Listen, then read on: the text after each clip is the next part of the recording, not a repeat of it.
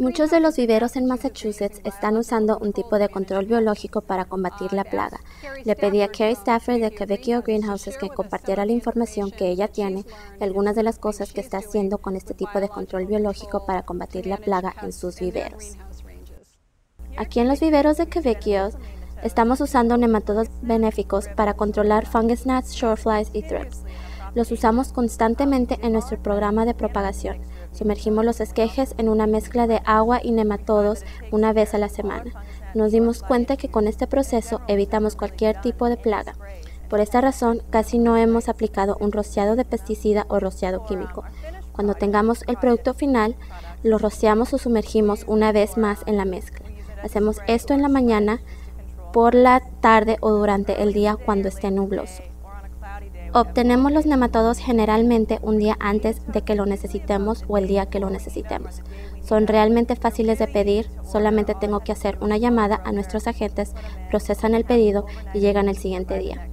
Nos gusta utilizarlo lo más pronto posible y tenerlo lo más fresco posible. Nuestro almacén no es tan confiable como quisiéramos, por lo cual nos gusta utilizar los nematodos lo más rápido que sea posible les gusta quedarse en un almacén de alrededor de 42 grados Fahrenheit, pero nuestra nevera va con el tiempo, como se dice, sube y baja y nunca sabemos lo que realmente es. Aquí está la caja que recibimos esta mañana de nematodos beneficiosos. Solo voy a abrirla para usted. Tan pronto como lleguen, nos gusta verlos de inmediato para asegurarnos que las bolsas de hielo siguen congeladas y que todo se ve bien. Tan pronto como las abramos después de salir del camión de FedEx, los ponemos directamente de vuelta en la nevera, al menos una hora antes de utilizarlos. Ellos vienen bien empaquetados, bien aislados, por lo que debemos sacar nuestras cajas que están cubiertas en hielo. Nos gusta comprobar que los paquetes de hielo aún están congelados cuando lleguen y salgan de la nevera. Y si es así, eso es bueno.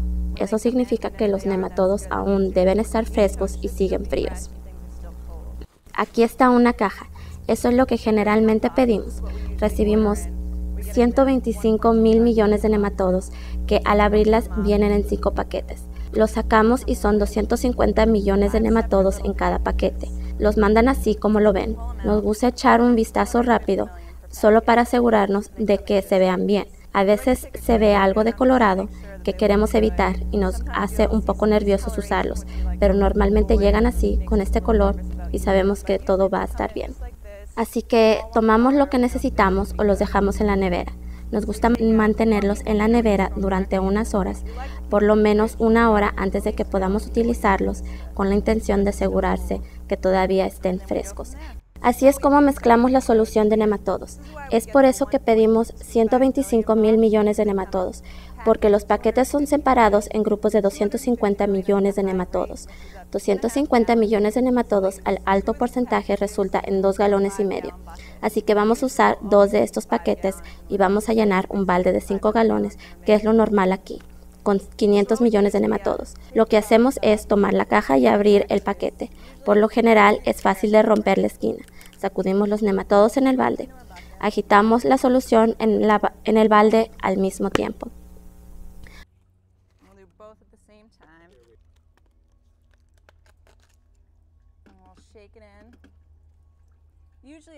Normalmente lleno el balde lentamente. Prendemos la manguera con poca presión y enjuagamos las cajas de nematodos.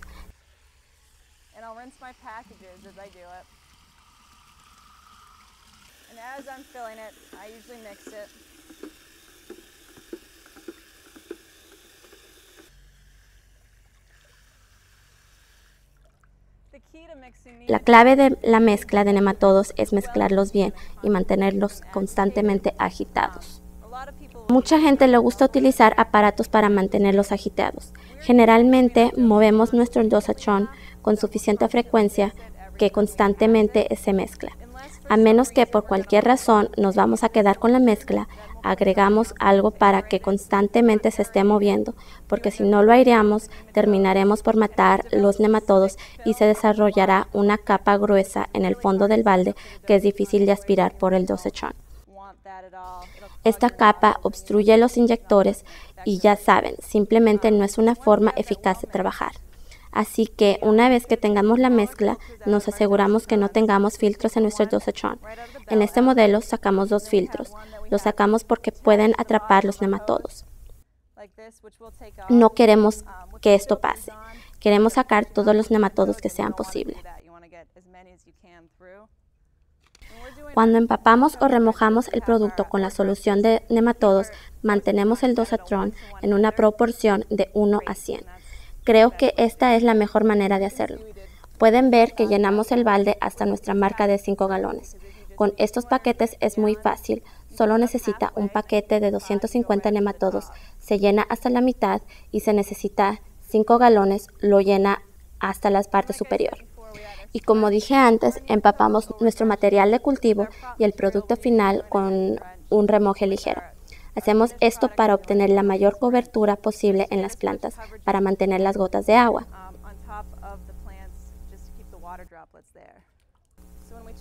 Así que cuando enciendo el dosatron, lo prendo lentamente y lo dejo correr por un minuto para que la máquina dispense los nematodos a través de la manguera.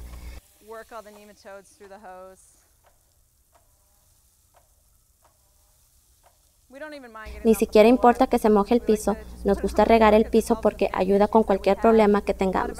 Muchos de nuestros invernaderos tienen pisos de tierra o pisos de tierra cubiertos y encontramos incluso que regar el piso con la mezcla se ocupa de algunos de los problemas de thrips que tiene, que crecen sobre las malas hierbas o cualquier problema que haya debajo de los bancos. Solo dejamos correr la manguera por un minuto para asegurarnos que está saliendo bien y con las proporciones que queremos. Nosotros no usamos apagues de las mangueras, nos gusta mantener un flujo constante. Si lo apagamos podemos matar algunos nematodos o lastimarlos. Remojamos las plantas caminando rápido, pero también uniforme y asegurándonos que regamos todas las plantas.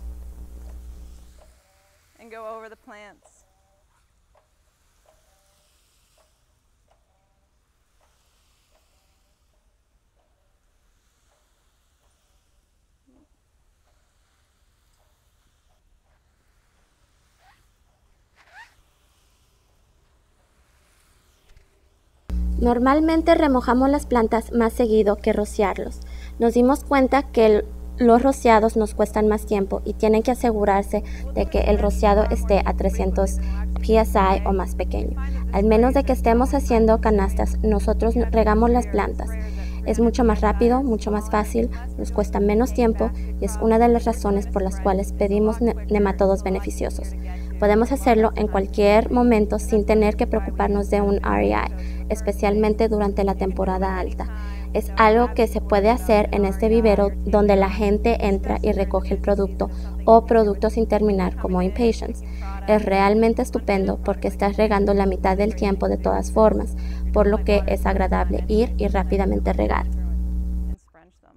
Muy bien, aquí es donde sumergimos los esquejes.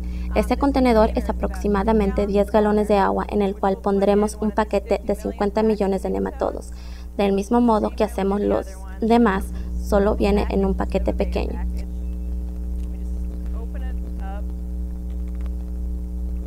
Generalmente son fáciles de abrir. Solo lo echamos y lo mezclamos.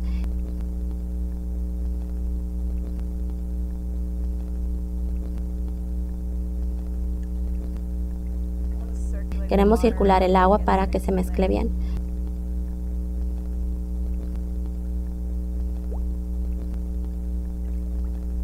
Lo bueno de sumergir los esquejes es que constantemente mantiene el agua moviéndose, por lo que solo se necesita una persona de la tripulación sentada aquí, sumergiendo los esquejes y entregándolos al resto de la tripulación. Lo que hacemos en vez de sacar los esquejes uno por uno, una persona sumergirá la bolsa de esquejes en la mezcla para que no haya esquejes flotando. Los sumergimos y llenamos las bolsas.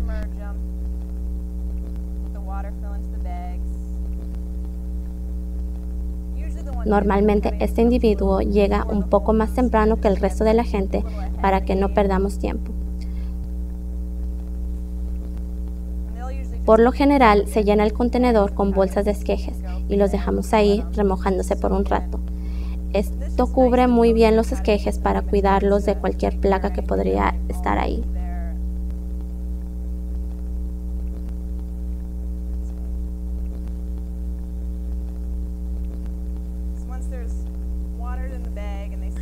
Así que una vez que haya agua en las bolsas y todo se vea bien, los sacarán y los dejarán en una bandeja que hicimos de alambre fino.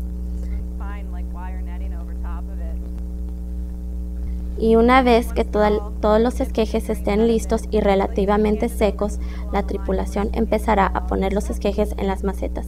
Eso es prácticamente todo.